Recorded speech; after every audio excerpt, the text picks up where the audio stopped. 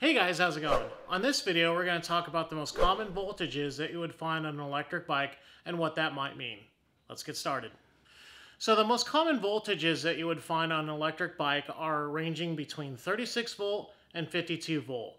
And it's usually a 36 volt, a 48 volt, and now a 52 volt, which is the latest voltage that you would see. And in most cases nowadays, you'll find the lithium battery inside of an electric bike. So the way that they get the voltage to stack up on a battery is to run these batteries in series.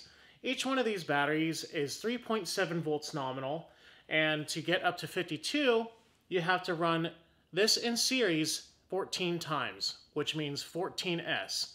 So on a 14S battery, you have a positive here, the negative end of the battery on the first cell right here, which is bridged over to the positive end on the next battery, and then so on and so forth throughout the series until you get up to the 52 volts. And that's how it's done.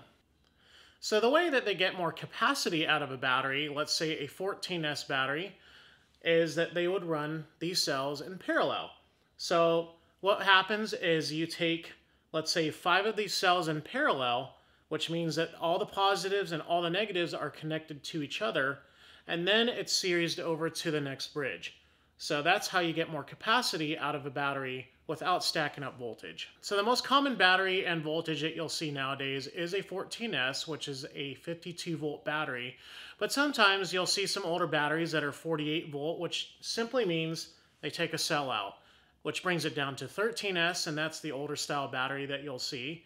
And if you go down to an even older style, which is 36 volt, it comes down to a 10S battery.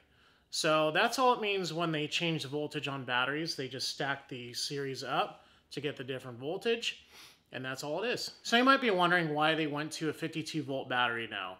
Well, the higher voltage doesn't always mean a faster bike. The higher voltage simply means that it's a more efficient system. So the less amperage that you have going on through the motor and through the controller, the more efficient the motor and controller are going to be to produce the rotational torque that you need for your bike. And that is why they're bringing the voltage up to now 52 volts so that the whole system's working a lot less hard and plus all your cabling can shrink because there's less amps going through it.